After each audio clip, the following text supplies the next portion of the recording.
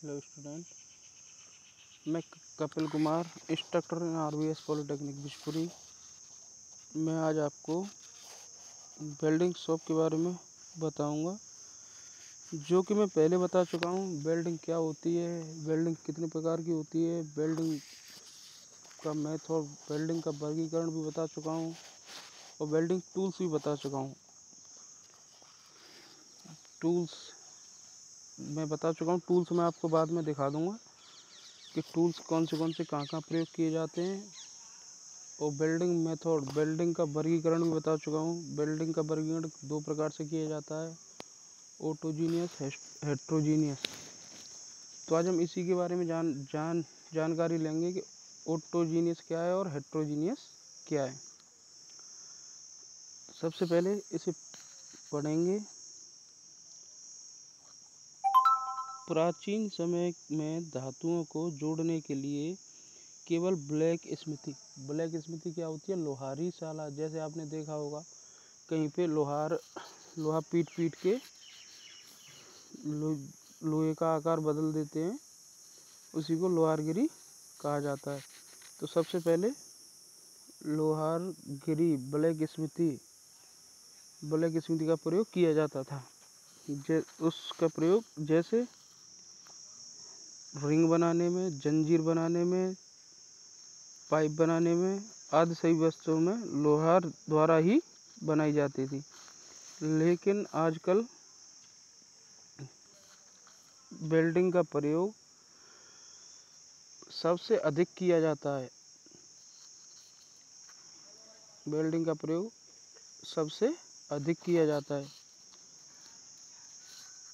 इसमें अनेक विधियाँ हैं।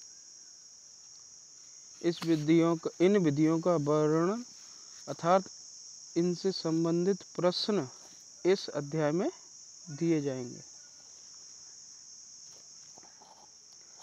आगे, जोड़ने वाली धातुओं के आधार पर वेल्डिंग कितने प्रकार की होती है? जैसे मैंने आपको बताया था वेल्डिंग दो प्रकार की होती है ओटोजीनियस और हेट्रोजीनियस तो जोड़ने वाली धातुओं के आधार पर वेल्डिंग दो प्रकार की होती है। ओटोजीनियस और हेट्रोजीनियस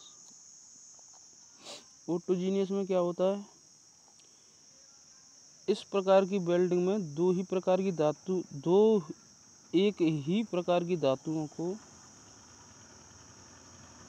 उसी धातु को फिल, उसी धातु की फिलर रोड या वेल्डिंग रोड की सहायता से जोड़ा जाता है। जैसे अब हमारा जॉब है माइल्ड स्टील का। तो हमें इलेक्ट्रोड भी माइल्ड स्टील की ही लेनी पड़ेगी। जैसा हमारा जॉब होगा, उसी प्रकार से हमें इलेक्ट्रोड का चयन करना होगा। तो इसमें जैसा मटेरियल होगा, उसी धातु की हम इलेक्ट्रोड का प्रयोग करेंगे। आगे है हमारा हेट्रोजीनियस इस प्रकार की वेल्डिंग में दो अलग अलग प्रकार की धातुओं को जोड़ा जाता है। जैसे हमारा माइल्ड स्टील का जॉब है। नहीं माइल्ड स्टील का रोड है। हम इससे और कोई भी धातु, जैसे पीतल, तांबा माइल्ड स्टील ये सब जोड़ सकते हैं। इसमें जोड़ने वाली धातु का गलनांक गलनांक मेल्टिंग पॉइंट मेल्टिंग पॉइंट जुड़ने वाली धातुओं के गलनांक से कम होता है। जुड़ने वाली धातुओं के गलनांक से कम होता है। जैसे पीतल, तांबा, माइल्ड स्टील, कास्ट आयरन आदि इसी विधि से जोड़े जाते हैं। आगे हमारा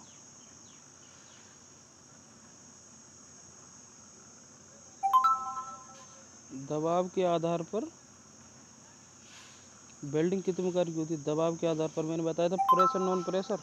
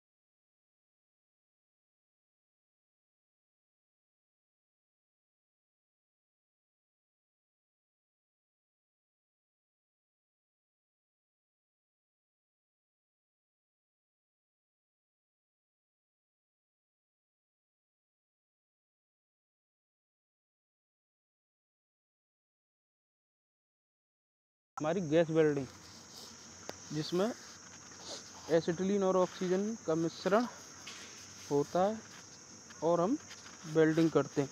उसमें भी हमें फिलर रोड की आवश्यकता होती है जॉब को बनाने के लिए।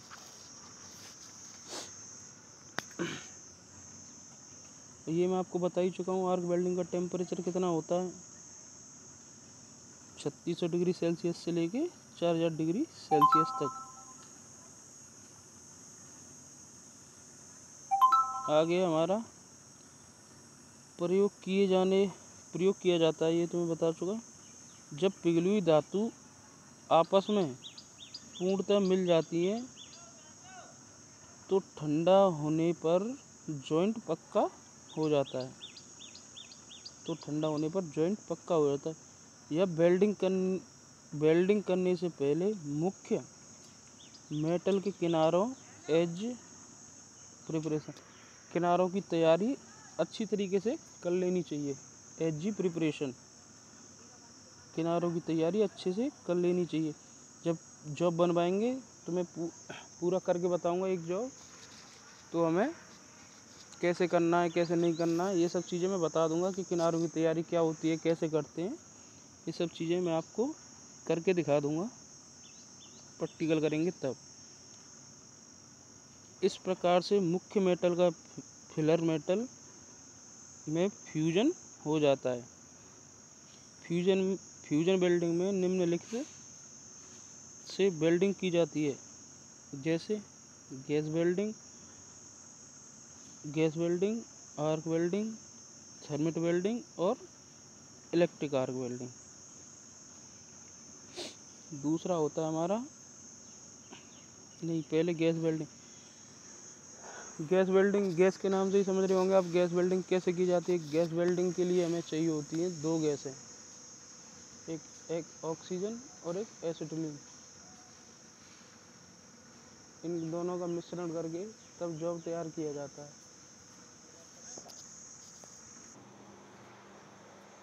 जैसे कि हम बात करें तभी गैस वेल्डिंग के बारे में। गैस वेल्डिंग दो गैसों के मिश्रण से की जाती है। दो गैसों का मिश्रण, ऑक्सीजन एंड एसिटिलीन। ऑक्सीजन हमारी आग का प्रेशर बढ़ाने के लिए प्रयोग की जाती है, एसिटिलीन हमारी ज्वलनशील गैस होती है। इसी प्रकार से हम गैस वेल्डिंग करते हैं। Arc, electric arc welding. Electric arc welding normally सबने देखी होगी कि जहाँ दुकानों पे की जाती है, किसी की बाइक वाइक कुछ टूट जाता है, उसके लिए हम आर्क वेल्डिंग करते हैं। देखा होगा, वही आर्क वेल्डिंग हमारी होती है। थर्मिट वेल्डिंग में बता चुका था, थर्मिट वेल्डिंग रेल की पटरियों पे की जाती है। आगे हमारा plastic and pressure welding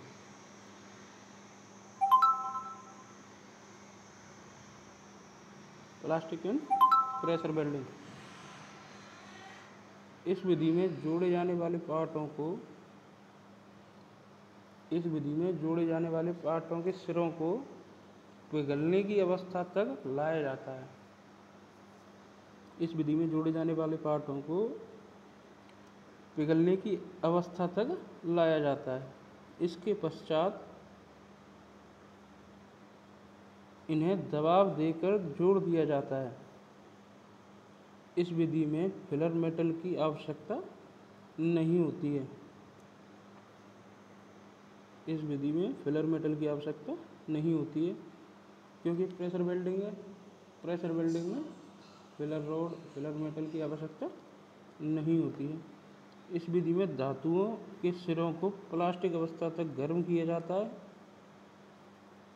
इस विधि में धातुओं के सिरों को प्लास्टिक अवस्था तक गर्म किया जाता है, तभी दोनों पार्टों को आपस में जोड़ दिया जाता है।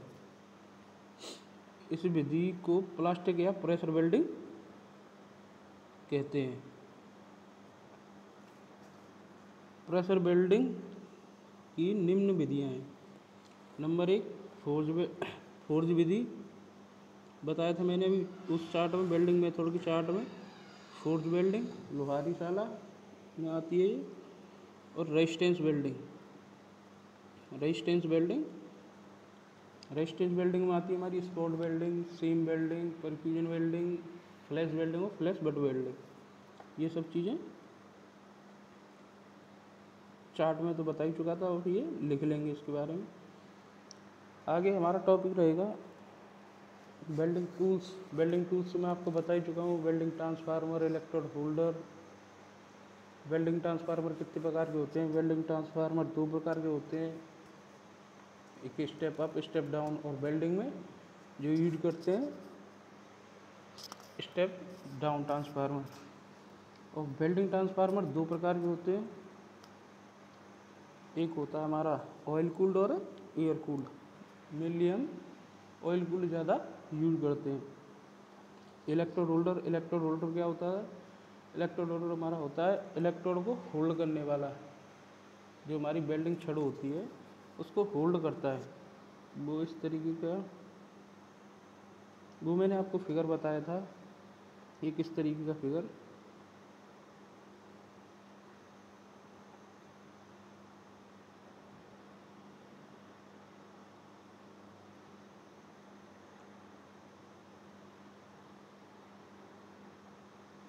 ये होती है हमारी welding rod welding rod electrode holder ये होता है हमारा जॉब या वर्क पीस कह सकते हैं इसे। ये अर्थिंग केबल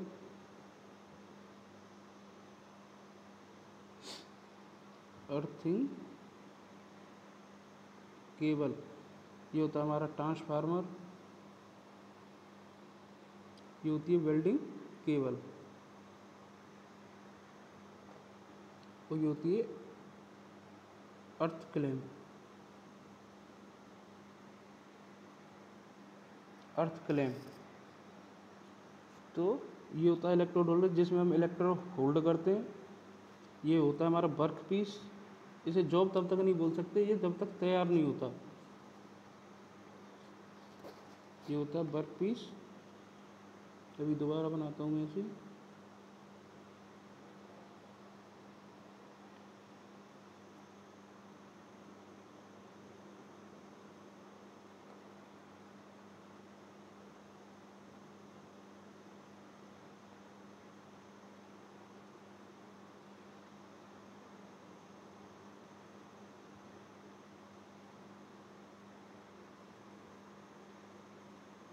एक मिनट वेट करेंगे।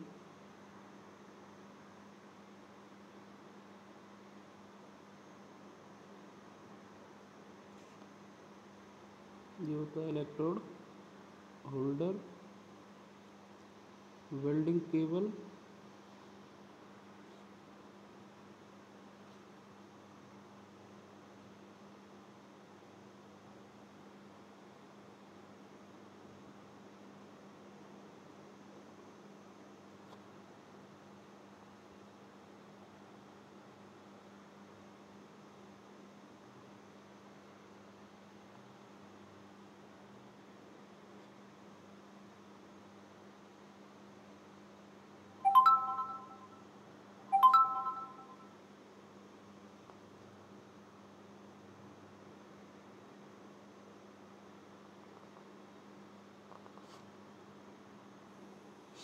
जैसे कि आप देख रहे हैं, ये फिगर मैं आपको बता ही चुका हूँ पहले। ये होता हमारा वेल्डिंग ट्रांसफार्मर एसी या डीसी ये होती है वेल्डिंग केबल ये होती है वेल्डिंग केबल ये होता हमारा इलेक्ट्रोड होल्डर जिसमें इलेक्ट्रोड को होल्ड किया जाता है। ये होती है अर्थ क्लैम ये होता है बेल्ट वर्क पीस ये अर्थिंग केबल ये अर्थ क्लैम इसी तरीके का मैंने एक फिगर लास्ट वीडियो में बताया था। ये होता है हमारा आर्क वेल्डिंग प्रोसेस आगे था हमारा इलेक्ट्रोड इलेक्ट्रोड के बारे में बता ही चुका इसमें सेफ्टी के लिए हमें चाहिए फेस शील्ड या हैंड स्क्रीन भी कह सकते हैं। हिंदी में कहते हैं इसे मुख परिरक्षक। और हेलमेट भी चाहिए होता है गूगल्स भी चाहिए होते हैं चश्मे जिससे आँखों की सुरक्षा के लिए। आँखों की सुरक्षा के लिए हमें चश्मे भी चाहिए होते हैं।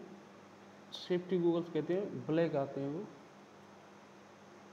और फेस शील्ड में शेड लगे होते हैं, जिससे आँखों में चमक ना लगे।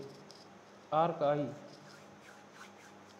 चमक से बचने के लिए हमें फेस शील्ड हैंड स्क्रीन और हेलमेट और चश्मे का प्रयोग करना चाहिए।